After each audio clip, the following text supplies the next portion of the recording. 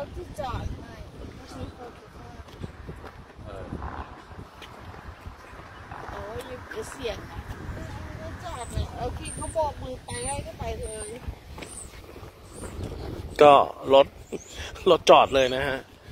แล้วก็เขาให้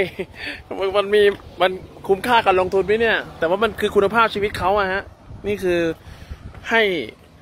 กดเพื่อให้เราข้ามถนนไปเท่านี้ระยะสั้นแค่นี้ยแล้วดูรถเลยครับ มีเป็นร้อยร้อยคันเลยครับ เพียบเลยครับดูครับก็ดีฮะ โอเค